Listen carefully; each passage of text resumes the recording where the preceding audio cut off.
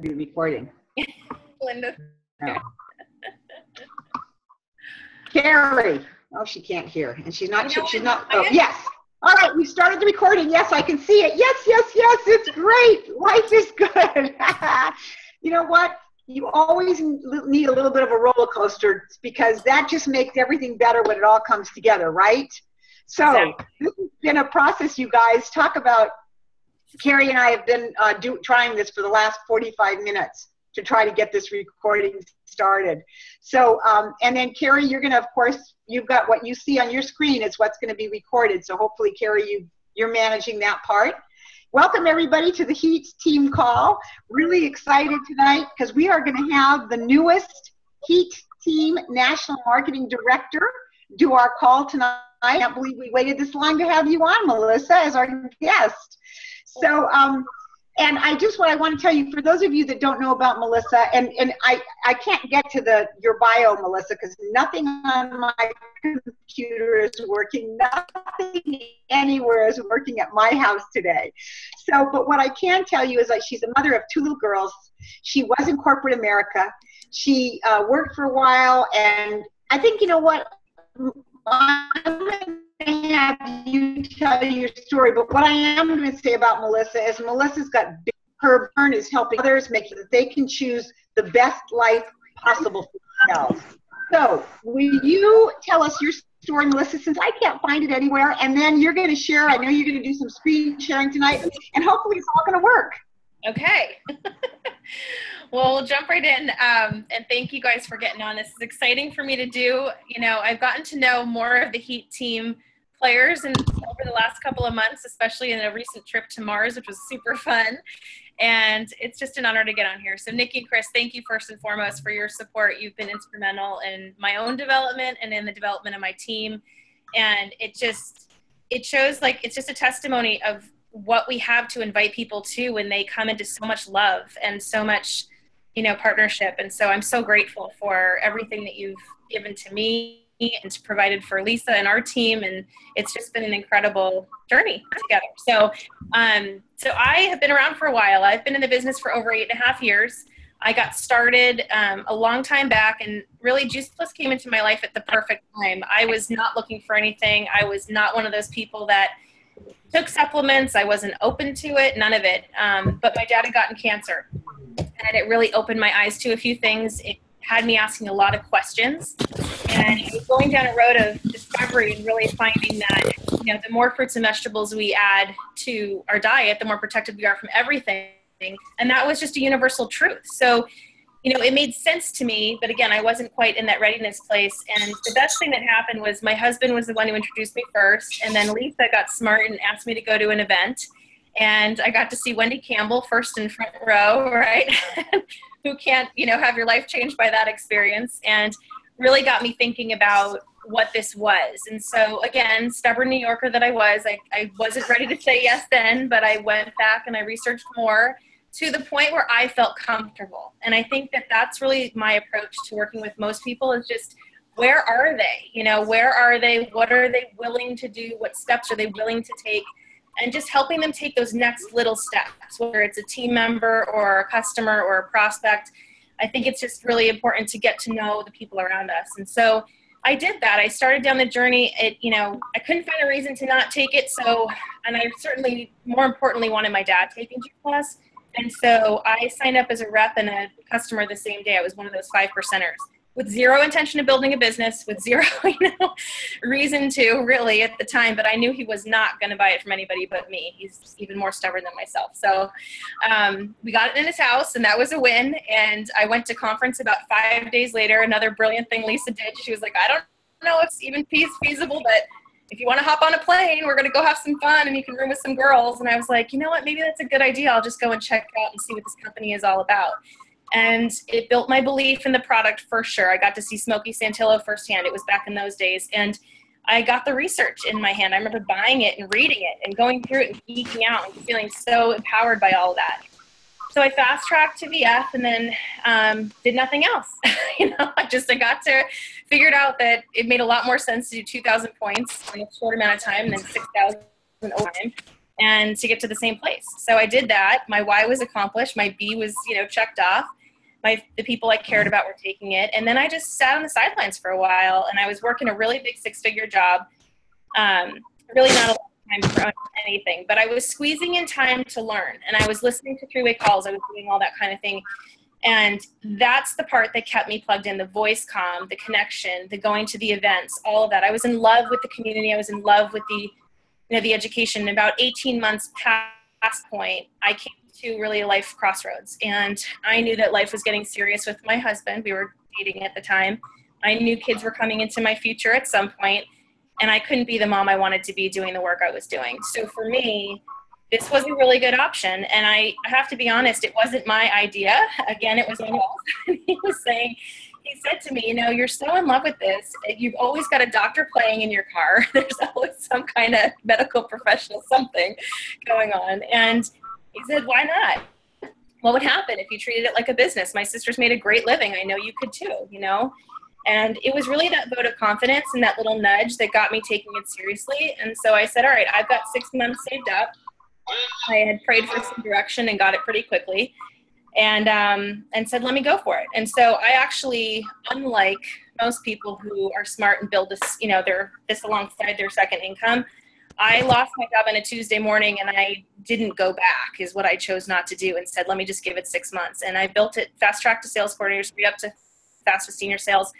I was part of that group that did those first uh, roundabouts, and then again life happened you know? And this is why i tell this part of the story because there's so much flexibility in what we do. And i think it's important to again meet people where they're at. I had so much love and grace around me. And when that first child came into my life unexpectedly a little a lot sooner than i was necessarily you know ready for i'm like that classic planner and god always laughs and goes oh that nice little plan of yours. Here you go. You got this instead you know kind of thing. And so it took me out of the game for a while and i really honored that time. I honored the time with my family. I had the freedom to do that. I got to take basically three years to build two beautiful girls and the foundation of a family that i'm so grateful for. And then i got the itch again you know and I prayed and I asked for some really clear guidance and said, you know what, God, just make it so obvious for me that this is my time that I can't ignore it. And within three weeks, Danielle Calavito and Brie Irusi showed up on my team. And if you guys know those girls, they're amazing. And so it really got me inspired to take the next step and, and roll up my sleeves. And I reached out to everybody on the roster and said, okay, you guys ready to go? you know? And the ones that were came along and the ones that weren't didn't. And we moved on and we just, you know, filled up the team and went at it and had some fun. And we've been growing ever since. And it's been like Buster's wild, you know, crazy on hair on fire kind of growth and it's been super fun. So tonight we're going to talk about um, basically the system that we've been using to to generate that kind of momentum and growth. And I put it into a you know a couple slides that I think will illustrate it for you clearly, and then at the end of this, I'll post a document that we're using that Bree found for us. It was part of the Wendy Campbell startup um, workbooklet that she has which is a great tool, but that's like got a lot of pages to it. We just took this one page out and really used it and it kind of summed up everything in a simple manner. So I'm going to go to share screen and pull that up really quick.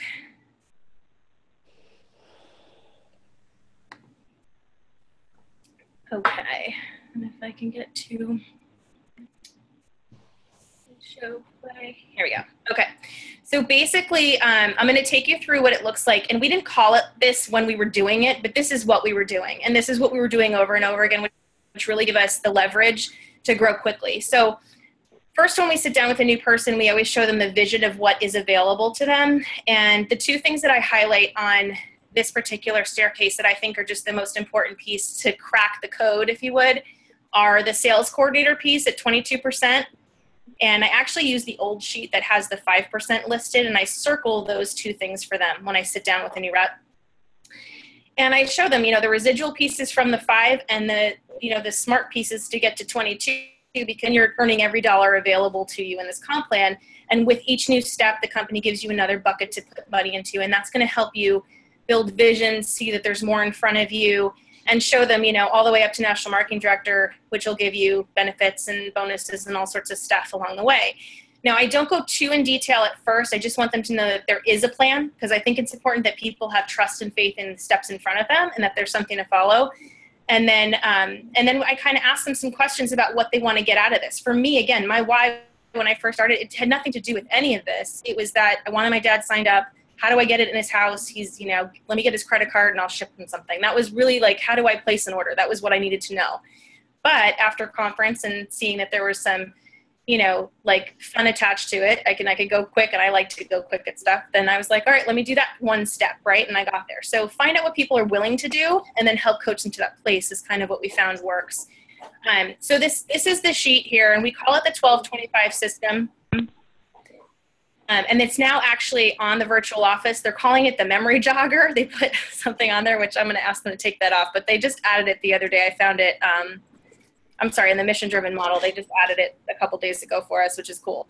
Um, but a lot of people are using this now and they wanted this sheet. And so basically, the way we work this out is that we show them the staircase, we take them to their virtual office, we log them in, and we help them place their first trio order. Once the trio is placed, then we take the sheet and put it in front of them and say, okay, great. The first thing we're going to do is mark your name down up here at the top you are your first customer. And I'm looking for my mouse. There it is. And so they'll put name in and they'll write trio because we're only going to measure trios, and there's a reason for that. We want to build strength and consistency into their paycheck. That's where people measure their success. At the end of the day, if they're doing a lot of activity and a lot of work, and their paycheck is just measly, it's you know $100 or $200. It's not enough motivation to keep people focused and going. So if we can build them some success quickly, then I find that they stick around longer and they get more invested and they grow faster, which is always more fun. So um, their name, the trio, the order date of when they put that in, and you don't necessarily to fill in the points, but the most important thing you do then is you take this line and you draw it across at 12.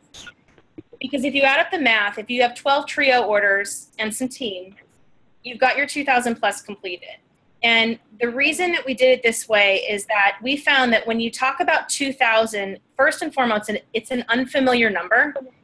Second, it gets people really dialed into the details and they get overwhelmed with which product is which points and how many of that. And if I do this, okay, 70.5, wait, what was that 169? They get really caught up in the, the like the little stuff. And what we really want to help them focus on is the most important piece, which is talking to people, fine tuning their story, getting really, you know, confident and really ready to move forward. And then building the activities that are going to lead to the results to fill in this page. So if let's just say you have a husband and wife team and they fill out the first two. So it's Melissa and Paul, right? That's my family. Then I can say to them, great. So now all we need to do is get 10, right? Let's focus on 10. Where can we get 10 from? And we know that the average, um, the average event is going to yield, you know, about five to seven orders, especially for first people because there's, it's the first time they're doing it. So people are excited and they want to show up and come. And so that helps. And if you do it early in the month and you have two scheduled, then you have two more weeks or three more weeks to fill out another one or two events to get the rest of what you need. It just builds in time and it's smart. So we try to really set people up for that success. And the New York team specifically is doing an incredible job with the events. They've been really coachable and you know, across the country and really just doing this. They're knocking them out of the park and they're filling rooms with 14 people at a time, sometimes more than that and that's where a lot of this comes from. So they fill in their 12 trios. They've got we drag along a team member. The addresses always seem to work out because the focus is in the right place. There's some extra stuff, of course. They're bringing on shakes and everything else. And what happens is they close out this 10, well, the 2000 plus. They close it out in about 30 days, sometimes 45, depending on the timing. But it's usually somewhat dictated by the timing of their event. So do them early, you'll get there faster. And then the next month they walk right into qualification because they have at least one other team member that's coming on and doing the same and they're working on their 12 and most of these people who are following this are walking into like 750 residual points in their pb column and that's big because it's really empowering then to teach them what the next steps are but the cool part of this that i love the most and that's why i love this sheet is that it really draws your attention beyond that first marker. And I think that the mistake we make a lot of times is we talk about the HLP and we get people focused on two other households, but it, it shrinks their brain a little bit to think of only two, right? If they think of 10 and they've got to think of how do I get the 10, then they're really kind of forced into action quickly to get that ball rolling. And the next step of this is that they're looking at, oh, it doesn't just end there. I can move on. My goal is to get to 25. So the other thing that was kind of fun about this whole thing it fell right into line with you know the customer qualified you know stuff over the summer that we're doing the summer surge and all of that but it also lends itself to a little tricky thing to remember, which is 1225 is Christmas. So we're teaching people if you fill up your whole sheet, it's like Christmas. You've got a residual paycheck, something to count on. It's like a gift to yourself every month, right? And there's some kind of mental, mental uh, you know, thing there where it sticks, that it, it kind of sticks in your brain. All right, so the recipe to filling up the sheet here is really what we focus on is five to 10 new customers and two to three new reps per month. And we do that every month for the first six months. If you do the math and you look at it, if you're working on adding two customers, and I'm sorry, two new reps, and then the second month you add another two reps, and everybody's filling up 12 customers, you only need 48 trios to be a sales coordinator. So, what did we find? We found that people were walking into sales coordinator month three, month four. They didn't need the full six months. So, not only did they have a qualified business, but now they've got duplication. And this is fun, and this is what people wanted to be a part of. So, the key here, as I see it, is really kind of um, choosing wisely, and especially with a new person, like really getting their mind right so that they can go look for the right stuff to make them successful. I think, um, you know, gearing them towards the ideal customer. So finding people that are going to say yes, not finding people that you have to convince, right? We went through that years ago and it was just a daunting task of like, you know, yes, there's an article that says that, you know, McDonald's cheeseburgers aren't good for you. You know, just a lot of really like a lot annoying education that we had to do. Now it's totally different. The social media is doing that but who's paying attention? So we look for people who are open for information. We look for people who want to make a change, people who are happy and optimistic. We don't want to get that, you know, cousin who complains about everything, sits on the couch, does nothing with their life because why would we want to torture ourselves in the first 20, you know, 12 customers that we get? We want to get good, happy people that are ready to move forward. So, um, you know, people who see value in quality products, you can tell this by their behavior. What kind of purses do they buy? What kind of cars they drive, what kind of shoes do they, you know, wear, like where do they shop? Are they willing to spend a little bit more for quality product, right? I think that's a really important qualifying question for you to ask about people. Are they willing to invest money in themselves or their well-being? Do they go to a nice gym? Are they, you know, signing up for that bar class that costs $18 or whatever it is? Like it doesn't have to be necessarily all of these things, but if you see some of these things in, in qualities in people, they're telling you that they're a good fit and that's going to be a much easier conversation to a yes than somebody who isn't necessarily you know? Not that we discount them but we just want to set this new person up for a lot of yeses because it conditions them that yeah i can do this right? So um also this is really important but someone you like interacting with you're going to be calling them you know for customer care and taking care of them on a regular basis. It, it should be people that you like you know? And a yes person. Are they the kind of person you call them and say hey there's a new restaurant in town. Do you want to go? They're like yeah let's go. Let's go check it out. You know are they open? Those are the kinds of people that i try to um, pay attention to and spend some time with and have those conversations with. So um, i did some coaching with gordon hester over the last couple of months and he's always got such great insight. He said, Melissa, you know, you're spending a lot of time focused on these new customers, and that's bringing a lot of acquisition and growth. But for the stability of your team and the long-term success, the repeat business is what you really need to focus on. So really get, you know, good at that. Get good at that, and really bring your team into an awareness about customer care and and having that happen. So it is like a two-part process, which is why we go back to this sheet and we take people through this. And what we want them to do then is when they fill up their 25, really be working in that four month period on solid customer care. And the reason I love this system so much is it's one simple sheet. It's one sheet in front of you. Who do I have, you know, buying trios from me? You can look at it every day. You could even put their phone number in under the product section if you wanted to. Um, it gives you their order date so you have an idea of when things are going to ship, which is nice to keep in mind visually in front of you. But the, the key is the stars. You know, are you doing the customer care needed to make sure that they stay. And we also have to teach our people that they're going to lose some people too, and that's okay. And just having them almost, you know, not expecting them all, to quit, but just having them conditioned so that they know that's okay and the process is ongoing. And the goal is, you know, if you're really working at this for a year solid, you should have a solid 25 to 40 customers really full, you know, a full sheet with stars indicating that they're a repeat customer and they're buying from you regularly. And if you can get people taking Juice Plus for a year consistently, we know there's a really good chance they'll be on it for a really long time. So that is the key there with that and the stars. And, you know, it's again like hanging the stars on the tree. You know, bring it back to that Christmas analogy. But there's also obviously this other piece of it where we're working on distributors and what we want to attract And so I like to take our our team through, and if we had more time, we got off to a little bit of a late start here, but I take them through this exercise of really identifying what are the qualities that they're looking for, who do they want to surround themselves with, who are the people in their life that they want to attract, and also you know where are their weaknesses that they can fill in some gaps? Like i am not a strong admin person at all. If anybody of you if any of you have ever been expecting an email from me you know it probably didn't come on time. And it's not because i don't care or i'm not professional. It's just that there are some places in my brain that don't operate at optimal speed like the rest of them you know? But there's other things that i excel at. So what i do is i try to play to my strengths and surround myself with people who can fill in gaps of my weaknesses and together we make a really strong team. This is so much fun you know?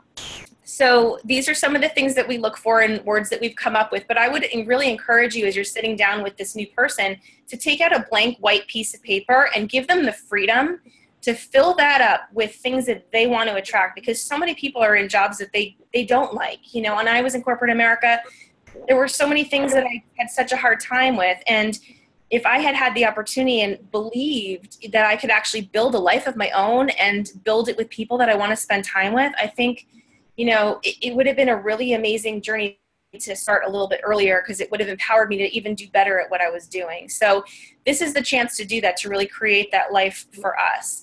So, the things we find, you know, first and foremost, are they fun? I put that on here twice for a reason. you know, we like to have fun on our team. Are they energetic and personable, coachable, ambitious, and driven? You know, again, willing to invest. Are they going to travel to conference? Are they excited to learn? Are they a raving fan? Maybe they're coming from that space, maybe they're not. Are they trustworthy? That's probably the most important piece for me is that I can speak openly and communicate honestly with my team because we go through life together, you know? And I think that's such a, really critical piece in, in working cohesively and working well together is that piece of having that communication. Um, are they hardworking? You know, do they show up in other areas of their life and go the extra mile? Are they happy? You know and again are they fun? And are they willing to have some you know? And so these are some of the things that we like to look for. Um, and then we take them back and we really tie this whole process together and we drill in the, the idea that okay so we've got your first one or two trios in the system. Usually people start out with about two. Um, we help them get the third. A bonus comes along the way. And you i don't necessarily t- tell them about it so that they're working towards it. I tell them more as like a hey look by the way you've got a little bonus showing up in the mail and good job you're halfway to your you know you're, you're 12 let's go finish and get the rest.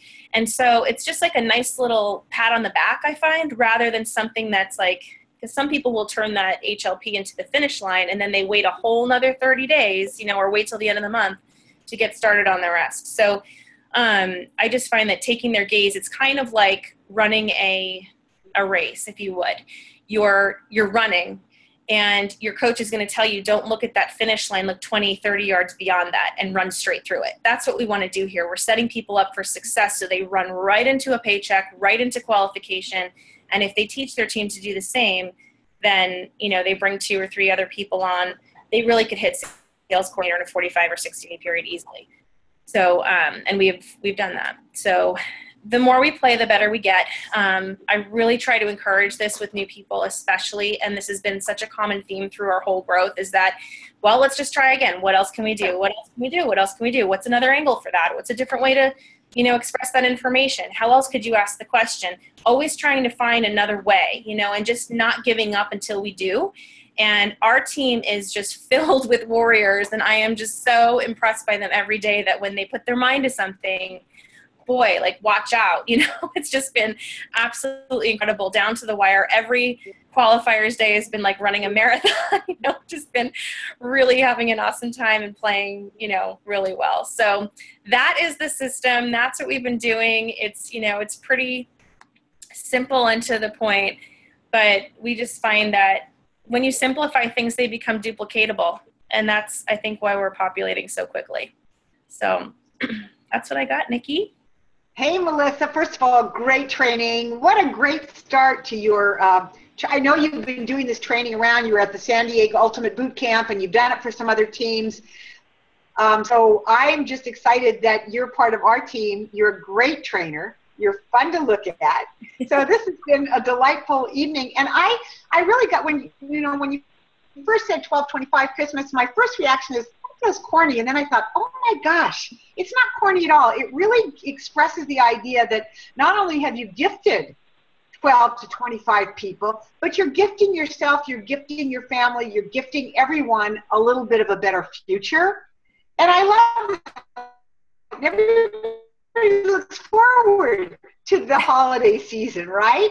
So I thought that was a great analogy. Really enjoyed it. And this is really simple. Just think about, and I like, you know, you, you and your husband or you and one other person get basically started. You only got 10 more.